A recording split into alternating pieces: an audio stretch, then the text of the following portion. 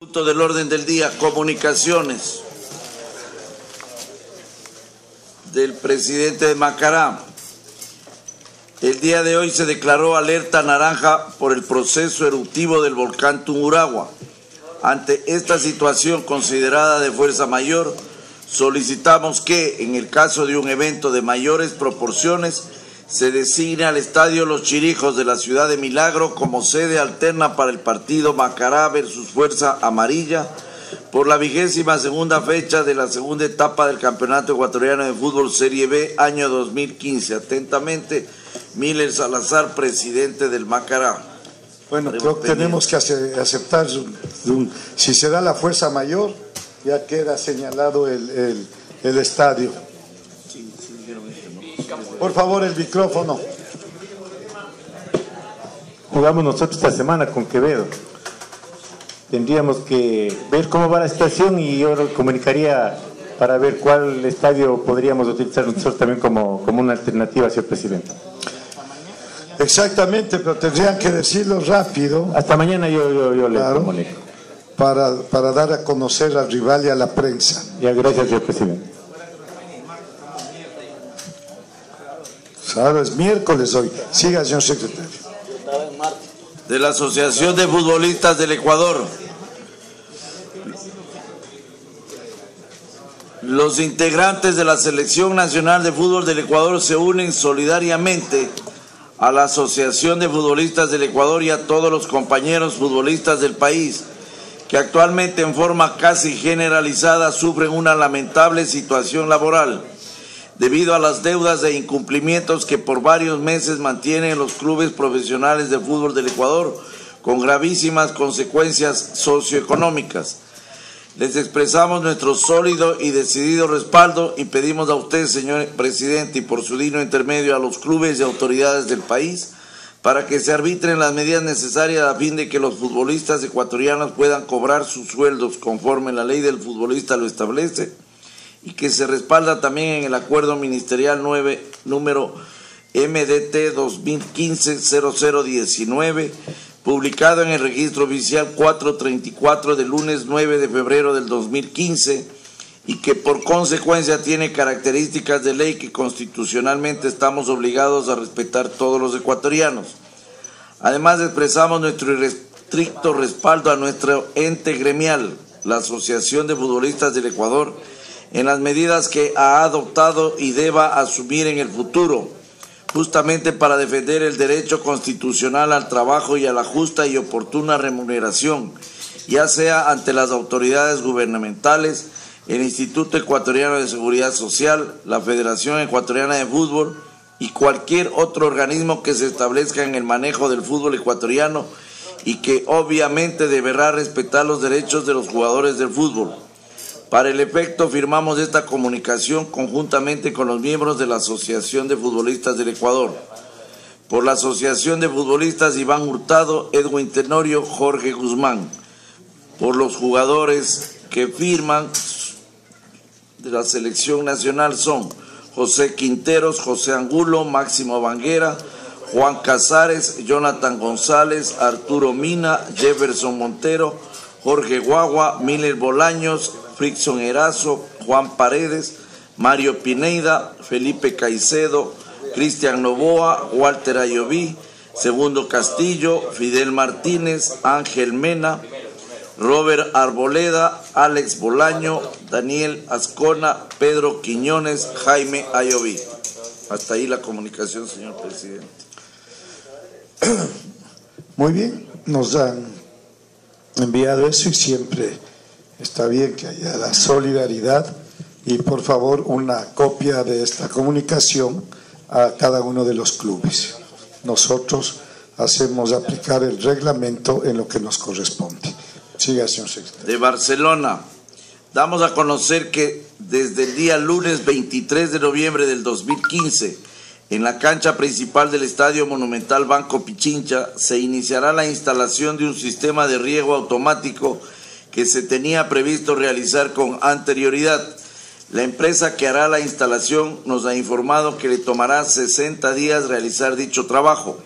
Por eso lo realizamos desde la fecha antes mencionado, lo cual nos permitirá contar con una cancha en óptimas condiciones para el inicio del Campeonato Nacional del año 2016. La Liga Deportiva Cantonal de Milagro nos ha dado las facilidades para el uso del Estadio Los Chirijos para poder llevar a cabo el encuentro Barcelona versus Liga de Loja el día miércoles 2 de diciembre, correspondiente a la vigésima fecha del Campeonato Nacional. Por este motivo solicitamos por su intermedio la aprobación para poder realizar este encuentro en el escenario antes mencionado. Informe que expongo en su conocimiento para los fines reglamentarios pertinentes. Atentamente, José, José Francisco Ceballos, presidente adjuntan la comunicación de la Liga Deportiva Cantonal de Milagro, en la cual comunican que han cedido el estadio del fútbol Los Chirijos para el partido del día 2 de diciembre. Muy bien, aceptamos la solicitud. De la Asociación de Futbolistas del Ecuador, solicita a usted se registre la letra de cambio adjunta suscrita por Macará el 9 de junio por 1.465 a favor del afiliado señor Walter Vázquez Bernal. Solicitamos se otorgue al deudor el plazo de 30 días conforme lo dispone el reglamento. Atentamente, Jorge Guzmán, gerente. De la Asociación de Fútbol No Avisionado de Chimborazo, solicitamos de la manera más comedida que no se programe la última fecha de las categorías sub-16 y sub-18 en las que el club eh, Olmedo tiene con el club Gualaceo debido a que no incide en la tabla de posiciones. Atentamente, Dorian Jara. De acuerdo. De la Asociación de Fútbol Profesional de Manabí, de Imbabura, perdón. Presidente, en iguales términos, nosotros también la sub-16 sub-18 para la última fecha tampoco jugaríamos el presidente. Vean todos los partidos que no inciden para...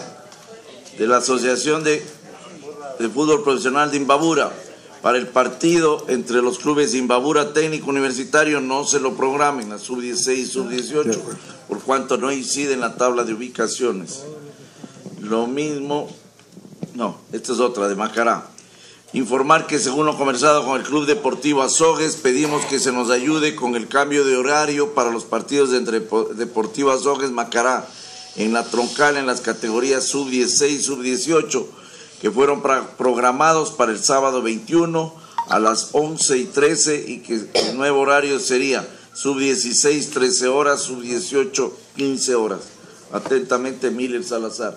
Hay un delegado de las OGES que ratifique. Averiguaremos mañana, presidente, si las OGES está de acuerdo. Pero por escrito. Por escrito, exactamente.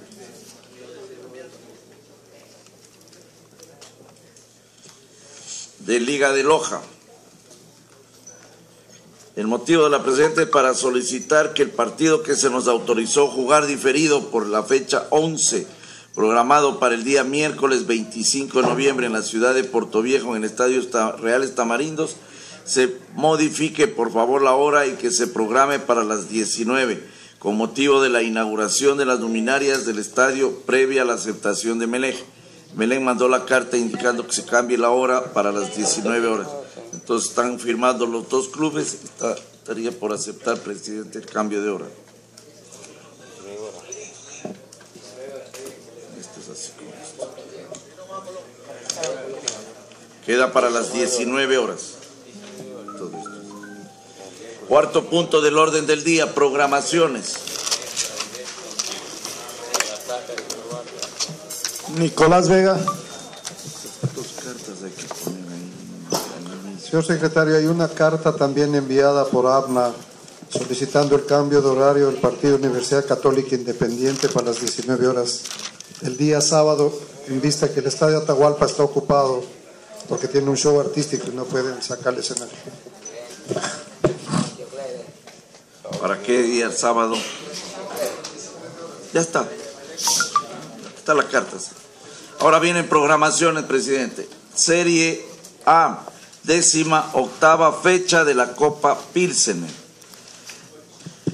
Deportivo Quito River Plate del domingo 22 a las 11 horas 30 en el Estadio Atahualpa en Quito. Comisario Robinson Viteri, zona visitante General Norte, dirigentes Palco, precios Palco 20, Tribuna 10, General 5. Transmite Oromar DirecTV. La reserva a las 14 horas en la cancha de Carcelén. Liga de Quito, Aucas, el domingo 22 a las 11 horas 30 en el estadio de Liga de Quito en Quito. Comisario doctor Guido Soria. Zona visitante general Sur. Dirigentes Palco. Precios Palco 25, Tribuna 10, General 8. Transmite Ecuador TV y DirecTV. La reserva a las 9 horas en el estadio de Liga. Universidad Católica Independiente del Valle, el sábado 21 de noviembre a las 19 horas en el Estadio Atahualpa en Quito. Comisario licenciado Randall Pérez. Zona visitante, Tribuna Sur, dirigentes Palco, precios, Palco 12, Tribuna 6, transmite Canal 1, DirecTV. La reserva a las 14 horas en la cancha de la Armenia. Barcelona Nacional el domingo 22 a las 16 horas 30 en el Estadio Banco Pichinche en Guayaquil. Comisario José Vázquez Flores. Precio Suite 20, palco lateral 15, central 18, tribuna 10, general 6, transmite TC, DirecTV y Claro. La reserva el domingo a las 19 horas en el Estadio Banco Pichincha. Deportivo Cuenca Liga de Loja el viernes 20 de noviembre a las 20 horas en el Alejandro Serrano Banco del Austro en Cuenca. Comisario Ingeniero Oscar Manosalvas Sangurino. Transmite Ecuador TV. La reserva a las 17 horas en el Alejandro Serrano Banco del Austro. Y Mushukruna MLG el domingo 22 a las 11 horas 30 en el Estadio Bellavista en Ambato. Comisario Pedro Cedeño zona visitante general oriental, dirigentes Palco B, precios Palco 20, tribuna 10 y 5, general 6 y 3. Ecuatv, Gama TV, DirecTV transmiten este partido. La reserva a las 9 horas en el estadio Muchucruna de Ambato. Serie A, décima novena fecha de la Copa Pilsener. Independiente del Valle Barcelona el sábado 28 a las 17 horas en el Estadio Rumiñahui en San Jolquín. La reserva a las 14 horas en el complejo del Independiente del Valle.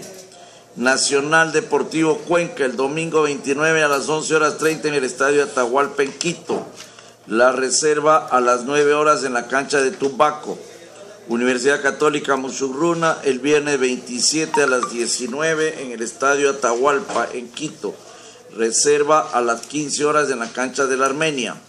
Emelec Liga de Quito el domingo 29 a las 16 en el Estadio Jocay en Manta. La reserva a las 10 horas en el Alejandro Ponce.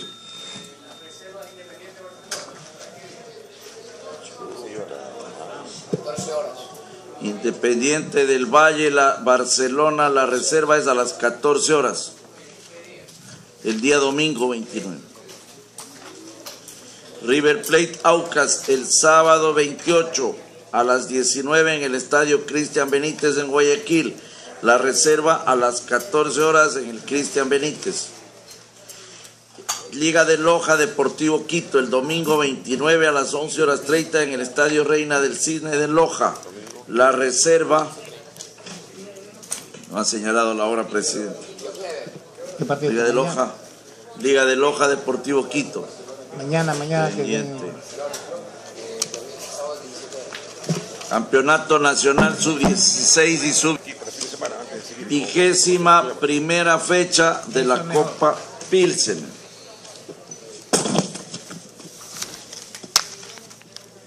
Esta, esta fecha fue, juega, se juega con horario unificado. Gualaceo Manta, todos los partidos son el sábado 21 a las 16 horas en el Estadio Gerardo León en Gualaceo. La sub, la, la sub-18 juegan a las 10 horas en el Estadio Huachapala en Cuenca. Deportiva Sogue Macará el sábado 21 a las 16 horas en el Estadio Municipal de Azogues. La sub-18 a las 13 horas en el Estadio Municipal de La Troncal. Fuerza Amarilla Olmedo, el sábado 21 a las 16 en el Estadio 9 de Mayo de Machala. la sub-18 a las 14 en el complejo Fabián Aguilar de Machala. Delfín, Liga de Portoviejo, el sábado 21 a las 16 en el Estadio Jocay en Manta. La sub-18 a las 10 horas el sábado 21 en el Estadio La Pradera en Manta. Espoli Imbabura, el sábado 21 a las 16 en el Estadio Olímpico de Santo Domingo. La sub-18 a las 16 horas en el Estadio Obando Pacheco en Santo Domingo. Técnico, es a la misma hora la sub-18 que la otra. Ya. Técnico Universitario Deportivo Quevedo, el sábado 21 a las 16 en el Estadio Bellavista de la ciudad de Ambato y la sub-18 a las 13 horas en el complejo del técnico universitario número 1. Serie B. Esta no está unificada, presidente. Es la vigésima y última fecha de la Copa Pilsen.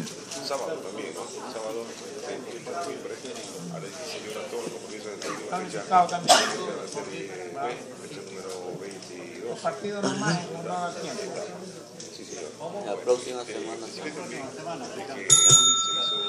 Coronel Rivadeneira. Gracias, señor presidente. Buenas noches. Eh, de acuerdo a la semana anterior que habíamos eh, conversado sobre el asunto este de la Serie B, habíamos acordado que de acuerdo a los resultados de la, de la fecha 21 íbamos también a, a unificar los horarios de la fecha 22, señor presidente. Así fue.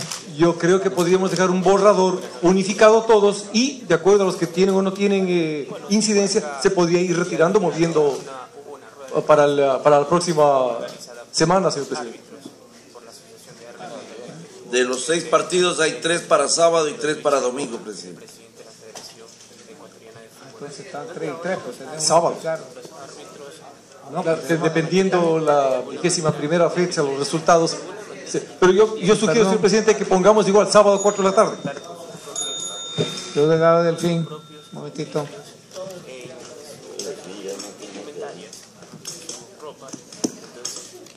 Señor presidente, buenas noches. La semana pasada se quedó establecido que las dos últimas fechas quedaban en horario unificado de sábado a las 16 horas. Eh, se supone que la última fecha debería quedar sábado establecido a las 16 horas. Previamente, a los equipos que no tengan incidencia, eh, en la última fecha deberían programar eh, sábado en el horario que ellos tengan conveniente. Pero que se quede establecido de que quede programado para las 16 horas, esperando para sábado 16 horas, esperando el resultado de esta última fecha, de la penúltima fecha que se juega este sábado. Quedan para sábado 16 horas Olmedo Gualaceo en el Estadio Olímpico de Riobamba, la sub-18 a las 10 en el Estadio de Yaruquíes en Riobamba, Imbabura Técnico Universitario el sábado 28 a las 16 horas en el Estadio Olímpico de Ibarra y la sub-18, la, la Serie B no han puesto.